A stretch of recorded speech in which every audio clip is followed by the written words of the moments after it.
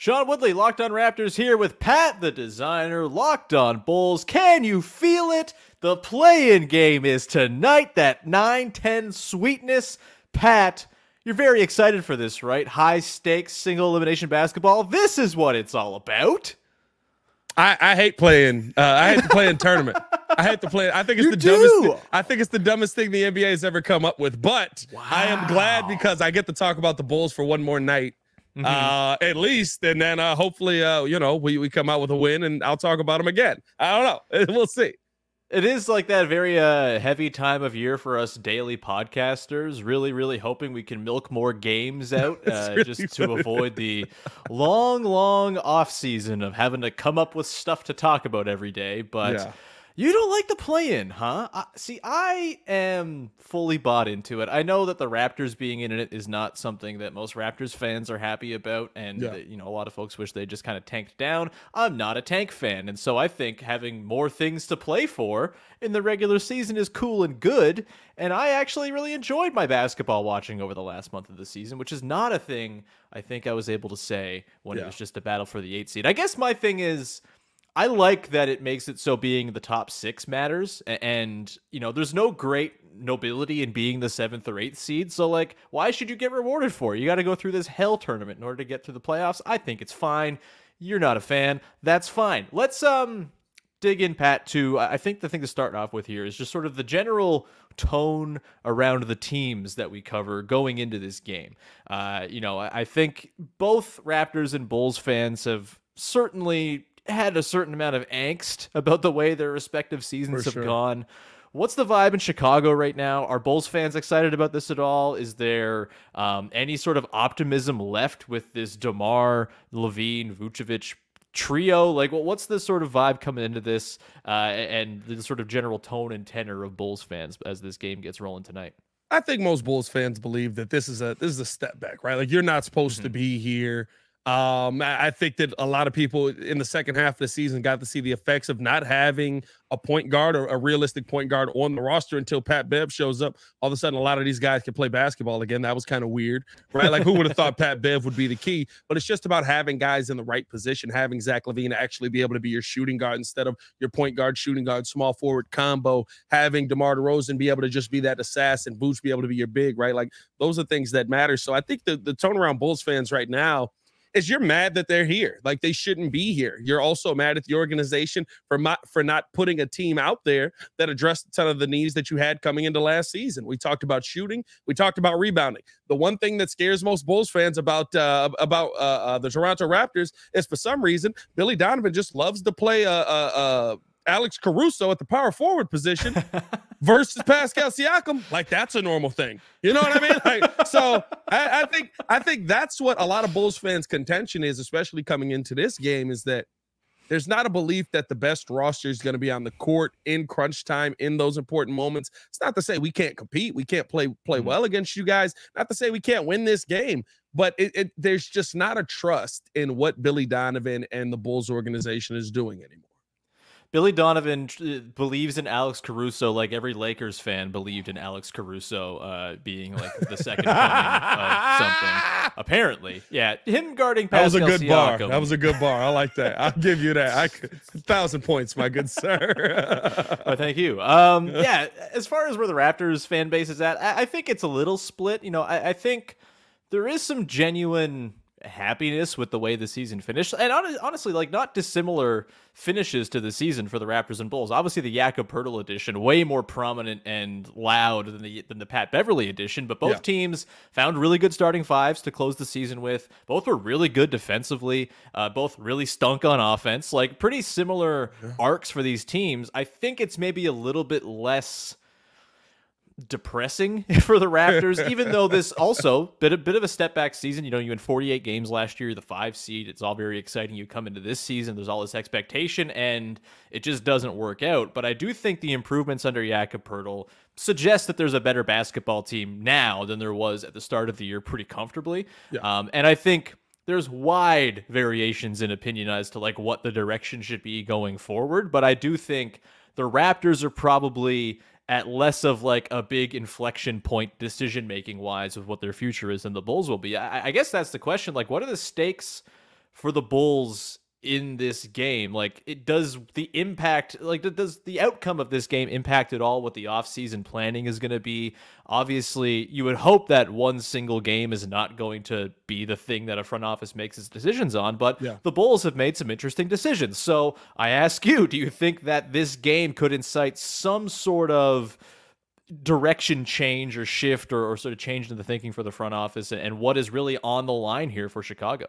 So to me, it's it's a it's a twofold answer, right? It should, right? Like if you go out here and and you know Billy Donovan throws out four point guards against the longest lineup in the NBA, you know you probably should have some conversations about who your head coach is. The hmm. thing is, uh, what I believe to be true and what's probably actually going to happen are very dissimilar things. Uh, I, I think that the Chicago Bulls probably don't go too far off of this lineup. Maybe they move off of DeMar DeRozan coming into this offseason. And he's one of those like two year assassins we talk about coming mm-hmm. in and being a part of this team for years. It's come right like when when D Wade and uh and uh Pau Gasol went into the Hall of Fame, it was like former Chicago Bulls. I was like, we'll take whatever we can get. you know what I mean? I will take whatever we can get at this point. Like that's kind of how this feels like it's going to end up finishing out. But I think mm. the the the one thing that I look at with um kind of what the Bulls are going to do is I look at where AK comes from, right? Mm. I the last time Denver was a sub 30 win team, sub 30, which means you're you're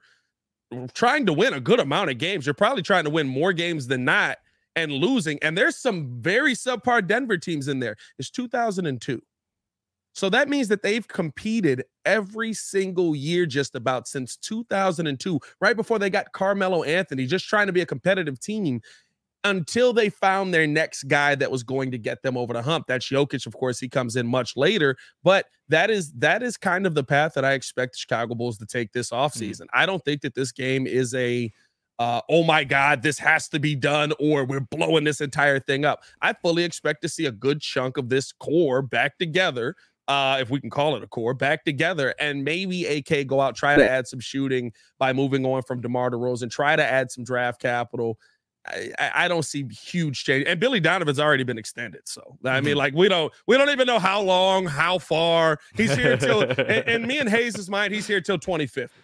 well, maybe there'll just be like an off-season coach swap between Billy Donovan and Nick Nurse. As it seems like maybe the Nick Nurse runway is. Listen, uh, uh, you send Nick out. Nurse my way, I will gladly send you back Billy. Is this what we do? And then we meet in the play-in again next season, and it's like oh. we're back. and we're back. Yeah. then you can officially declare these teams on the treadmill of mediocrity. That's for damn sure.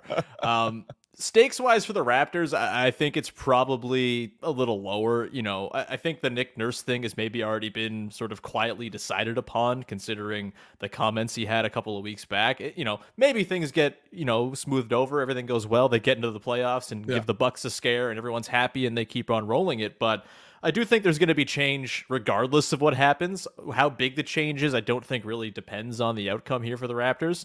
Um, but it's certainly, you know, you go and get waxed by the Bulls at home. Maybe that makes you think about things. For me, though, I do think like the last 26 games with Jakob Poeltl, that was really the sort of, hey, what do we got here? This yeah. is the information that actually matters for offseason decision making more than what happens in the, these one-off games. We're going to come back on the other side, Pat, get into a little bit more in terms of interesting players to watch in this game, matchups we got an eye on, that type of stuff, and uh, all that more. We're going to come back, do that in one sec. But first, let me tell you about Basketball GM, Ultimate Pro Basketball GM. I guess we can have Pat on the screen while we do this. Hey, Why not? He's very good at it, so we should uh, give him the shout out here. Ultimate Pro Basketball GM is the coolest game you're going to play if you are the fan of sports sims. Maybe you are like a 2K player who just goes in and sims sims to the offseason. That is what this is essentially all about. You get to put together your team, you get to draft, deal with challenging personalities, players and coaches and the like, hiring the right coaches and assistants, drafting, training, free agency, trades, all that good stuff as you ride the ups and downs of multiple seasons, all in a challenging and realistic game world.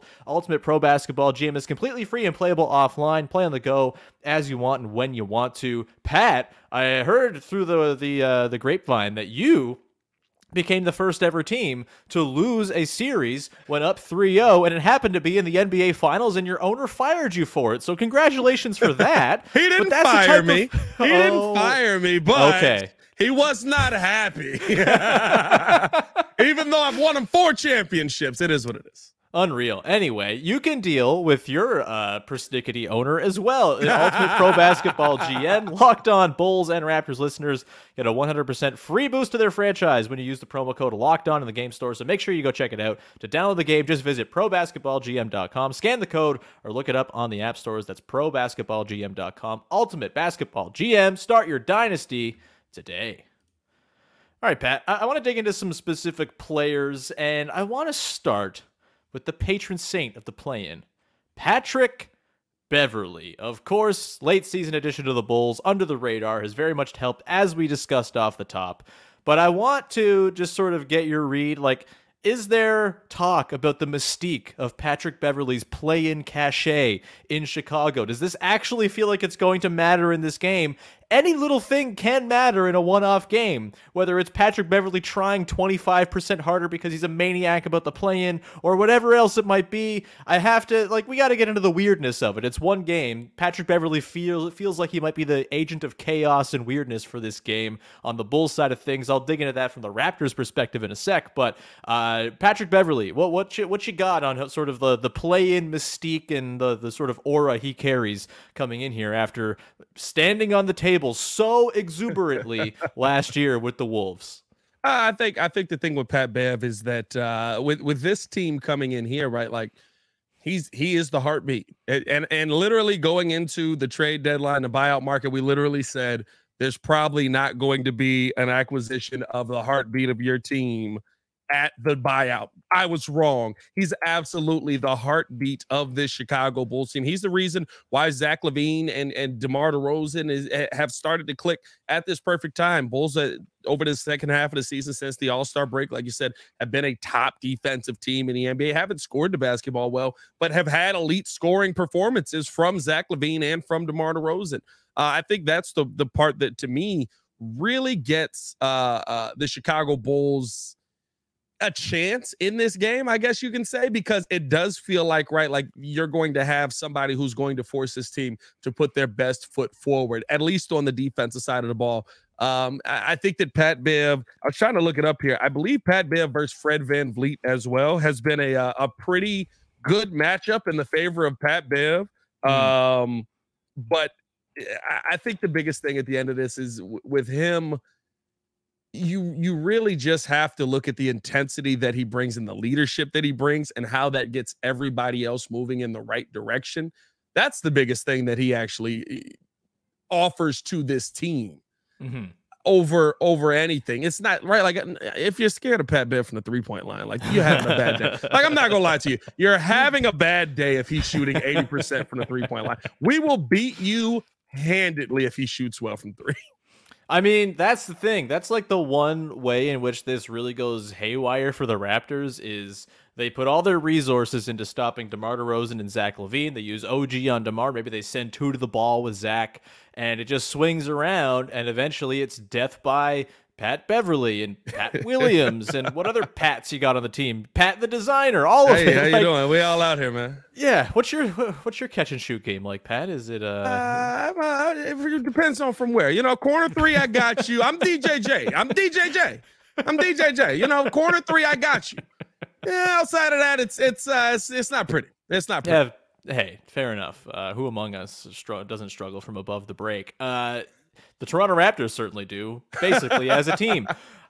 So when you look at the Raptors, Pat Beverley is for me the guy who I'm just like this guy could really just like f it all up and, yeah. make this just a nonsensical outcome just because that's what happens in single elimination basketball games. Nonsensical stuff happens all the time.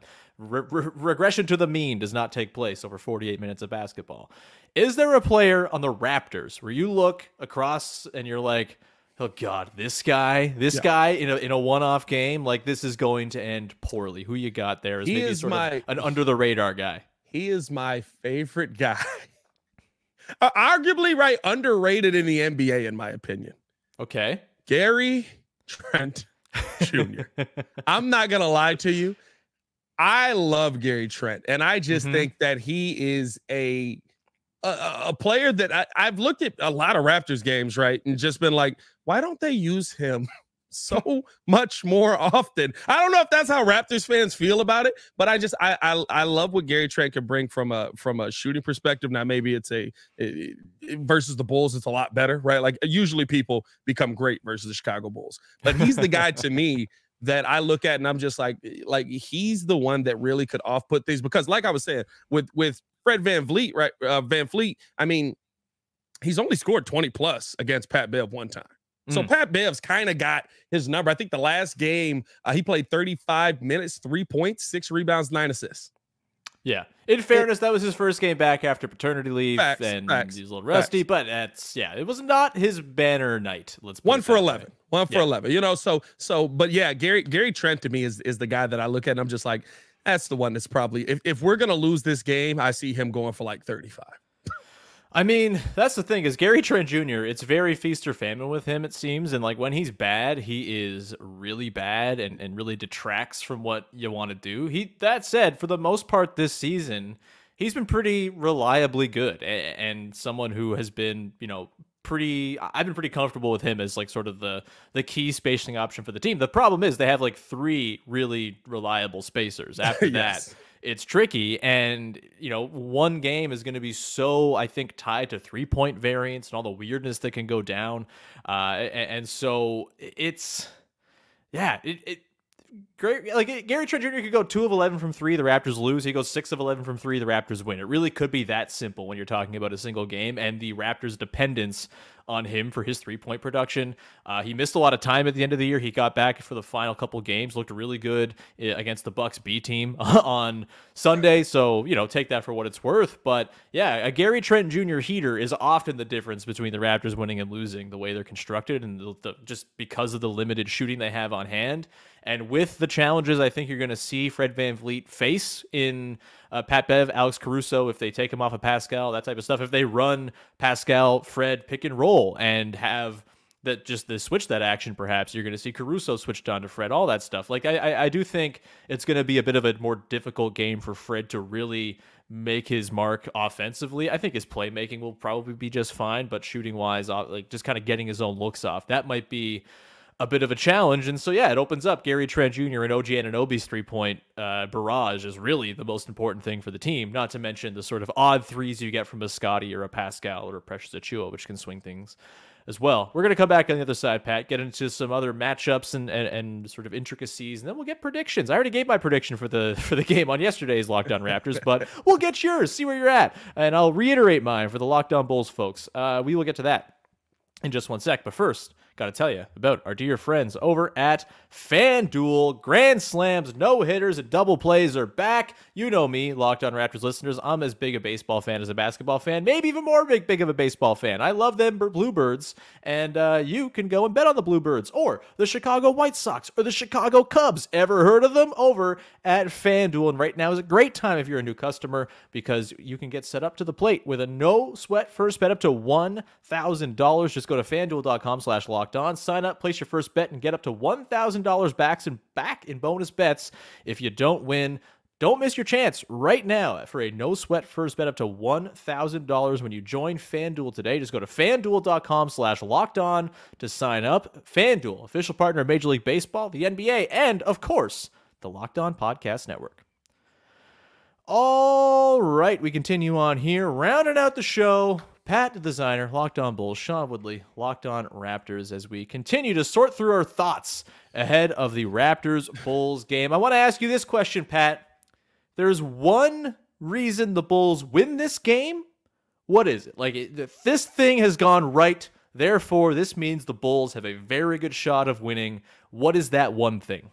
We are living in the sweet life of Zach and Coby. Uh, Coby White being a, uh, a, a real key in this. I think that uh, getting those two going offensively is going to be huge because there's the listen the the Raptors do one thing better than anybody I've ever seen. Passing lanes do not exist. Mm-mm. So you've got to be able to knock down that three ball. You've got to be able to find open looks, got to be able to play at the perimeter. I think that that will open up the passing lanes a little bit more and allow opportunity for those two to be able to get to the bucket, get to the cup, and try to get some finishes down there. I think Vooch and Poeltl kind of cancel each other out. Poeltl's a better defensive version of Vooch. Vooch is a better offensive version of Poeltl.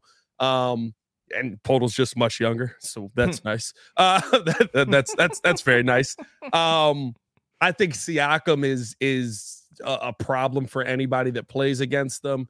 Like we we talked about Fred VanVleet and how him and Pat Bev. I mean, I don't expect Pat Bev to go off for 40 if he's right, like shutting down and or, or helping to shut down uh, Fred VanVleet if he even can do that yet again. I think that those are the two that I'm going to be looking at the most and saying if there's going to be offense here, uh, I'm looking at Zach and Coby in this. But I, I will say this: Demar does love to try and kill you guys. Mm-hmm. He, he it, it is one of his favorite things to do. It did not work in the last game, but it is one no, of his. The favorite... thing about OG Anunoby is he kind of blows up your best laid intentions a lot of the time. yeah, yeah. So it, it it kind of uh it, that's the one thing where I'm like, okay, let's let's see if if Demar kind of can go off and just have that like I'm going to put Toronto out of the playoffs moment. That would be fun to watch. Mm-hmm. But I think the guys that I most expect to have opportunity, not can you knock them down? That's the question. But opportunity is Zach and Coby. Yeah, for me, as far as the one thing that's gone right if the Raptors win, I really think it's got to be like just crashing the offensive glass successfully. The Bulls, well, yeah. I talked about it on yesterday's show. The Bulls, as much as you, you, you shake your head, really good at limiting the offensive glass for the other team uh, this season. I had the numbers available. Uh, fourth in the league in opposing offensive rebounding percentage allowed. That's good. Uh, second in the league at number of points allowed per opponent miss. That's also really good. The Raptors are big. The Bulls skew small a lot of the time in their best lineups. I do really wonder that's going to be a really key battleground, I think, is can the Bulls maintain their sort of competence cleaning up the defensive glass if they skew a little smaller and the Raptors start to crash like maniacs, you know, Chris Boucher often has big nights against the Bulls. Uh, you know, often. I think his offensive rebounding is going to be massive here. Uh, it, it's just a, it's a really interesting wrinkle because that is the thing that drives the Raptors. Their first shot half court offense sucks. It's really bad, much like the Chicago Bulls. They overcome it by crashing the offensive glass like maniacs. One of the three best teams in the league at doing so this season, three or four. Um, they, they do it really, really effectively. They do it from all angles. They do it with wings. They do it with their bigs. And I, I think th- where the sort of offensive rebounding situation sorts itself out is probably going to determine this game because I don't think either team is really going to have all that much fun in the half court. I, I think the defenses have been really stout. I think it's going to be kind of a nasty rock fight of a game.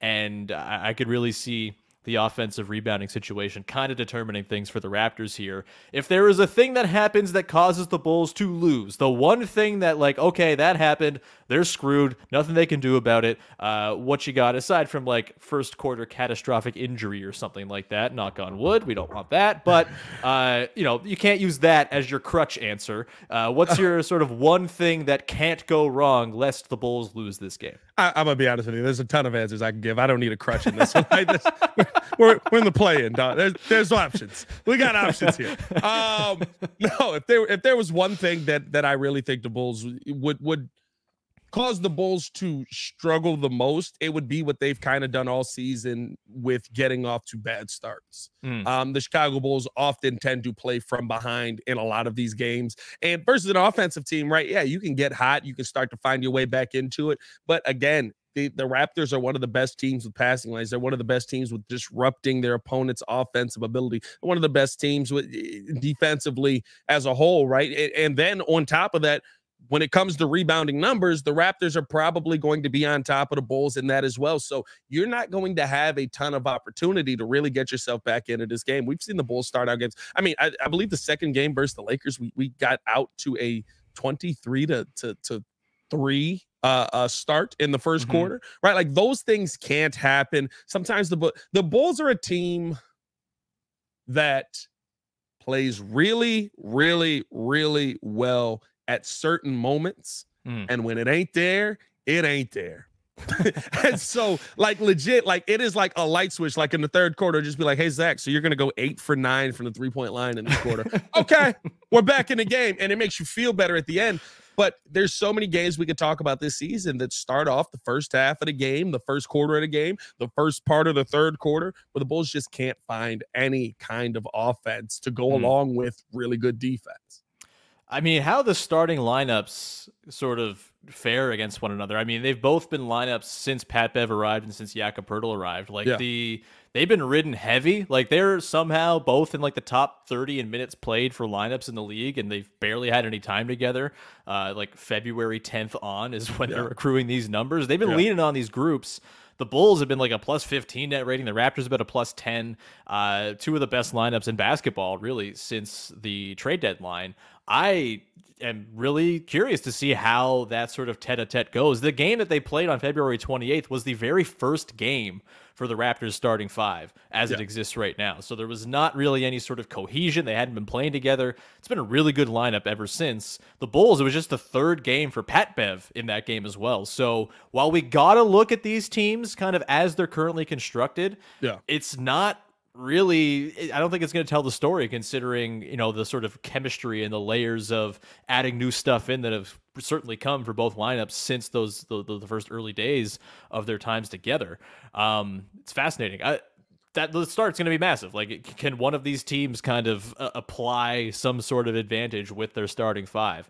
For the Raptors, I think if they lose this game, it's because they completely break down when it comes to their rim defense. Um, you know, the Bulls shot 16 of 21 in that February 28th game, and if they could do anything, it's it's the, they got quick guards who can get downhill. Zach LaVine, Demar, Coby White, all down the list. Like, yeah this is a team, the Raptors, that has struggled with quick guards in the past. Their big wins wings are really good at hawking passing lanes and guarding up in size. Sometimes they can really struggle with smaller dudes who can slip by. Fred Van VanVleet's on-ball defense has been wax and wane this season. Certainly better since Jakob Poeltl arrived, but definitely not a strength of his this year. He's much more of a, of a help defender where he really excels. And I could see the Raptors potentially skewing smaller in this game you know, they closed without Jakob Poeltl in the game on February the 28th. They went Gary Trent Jr. in that small ball look. Scotty Barnes exploded for a massive fourth quarter, playing the five. Um, you know, that was all fun and good, but when you don't have Jakob Poeltl on the floor, where you don't have him near the rim, which he might not be all the time with Nikol- Nikola Vucevic out there, I do wonder how that sort of all warps. I wonder if maybe they even like stick Yak on a Pat Beverley or a Caruso just to make it so he can kind of hang by the rim and, and yeah. not pull himself too far out because those backline rim defense breakdowns were the reason the Raptors were so bad in the early part of the season. And they've been much better since Yak arrived, but you can pull him away from the basket and create all of those problems once over again. And if there's like a parade to the bucket because the Raptors got to go small or because Vooch is pulling Yak too far away from the bucket and there's no good help defense there, this is where Scottie Barnes and Pascal Siakam are incredibly important. Uh, that could be big time trouble for the Raptors. Pat, gotta ask you, who you got? I picked the Raptors just not very confidently. It was a very meager, I think the Raptors will win type of situation yesterday. But uh, where are you? Where? Are you, how are you feeling? What, what, what's your gut telling you about this game? Listen, I, I think the Bulls will win. Uh, you know, like I, it's the same thing, dude. Like, like, listen, we, you want me to find a coin and just flip it on the podcast, and we can decide that way? I'm, I'm, I'm gonna be honest with you, right? Like uh, when when you think about, I, I, think the Raptors have kind of been the same thing, right? Like they're a lineup that can beat everybody, mm-hmm. and they're a lineup that can lose to everybody. Mm-hmm. Like it is, it is maddening in Chicago. I have watched the Chicago Bulls beat the best of the best on multiple occasions, handedly dominating uh, uh, efforts versus the Milwaukee Bucks and Boston Celtics, uh, going out there playing in a double overtime game versus the Philadelphia 76ers, getting the win finally over Joel Embiid, right? Like I've watched the Bulls literally beat the best of the best. I've also watched the Chicago Bulls lose to the Indiana Pacers and Houston Rockets multiple times. multiple times, like game winners. Don't worry, the Raptors like, have I think three times. losses to the Pacers this year as well. I think they got swept by the Pacers or something close to it. Really bad. Yeah, it, it's so I I I feel like the Bulls can win this game. I feel like the effect of Pat Bev, DeMar DeRozan coming back to Toronto, uh, Zach LaVine finally getting another opportunity to try and get himself into the playoffs. I think those things will matter, and that the Bulls will come out with the win. But I've also watched this Bulls team like get dominated just by people that can run a little bit harder.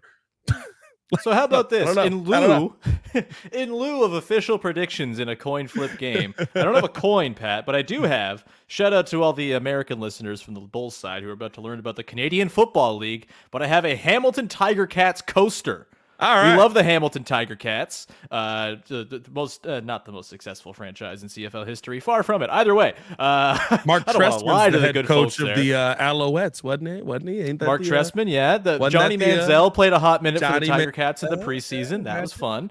Um, you know, we could go on down the dignitaries: Danny McManus, Henry Burris, etc., cetera, et cetera. Uh, you actually, Bears fans know about Henry Burris. There we go. I know That- about Henry Burris and Mark There's some Trestman. common ground. Henry Burris. Either and way, Mark Trestman, unfortunately. I don't know what's happening here. We're too far down the rabbit hole. Either way, Hamilton Tiger Cats coaster. I got the Hamilton logo on the front. I've got a blank side on the back. I'm just gonna flip it, call it in the air, uh, and if you win, the Bulls will win. If not, the Raptors will win. This is the prediction that we all need. Here we go in the air. Let's go.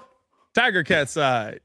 It is the blank side. The Toronto Oh. Raptors are going to win the 9-10 play-in game. You heard it here first. It's all on me. Now everybody's It's mad at me. unbelievable, Pat, that you did this. Uh, I feel really bad for our Oh, Karnisovas God. and all of the the the pieces he's gonna have to pick up after this. It's miserable. Uh, anyway, congrats to the Raptors, I suppose, and congrats to the Hamilton Tiger Cats for getting some play on an NBA podcast. Uh, Pat. We're gonna round it there. This was a blast, as it always is when we chat, man. Uh, obviously, Locked On Bulls. Everyone go check it out. Locked On Raptors, same deal. You can follow our shows, follow us on all the different socials and all that good stuff. Support us on YouTube. And uh, we appreciate all the lovely listeners, whether Raptors or Bulls fans. Thanks for hanging out. Enjoy the game. And listen to our recap episodes after the coin flip game is finished as well. That'll be a blast, too, for one of us. Uh, you know, we'll talk about draft position for the other side of things. Although maybe not the Bulls, because little uh, top That's four a whole protected different pick thing. out the door. that's Yeah. different thing. yeah we'll, we'll, see, we'll see what's going on with that, man. I don't know. I don't know. for Raptors fans who are depressed about their station, just uh, look at the Bulls pick sitch, and you're, you'll you'll feel a little bit better. Uh, we could we'll all there. be happy that we're not the Timberwolves. You know what? you know what? That's how I live That. life at this point. That is the way to go into this play-in game. Whatever happens, not the Wolves. All right. Thanks so much, everybody. Enjoy the play-in game. Bye bye. Peace.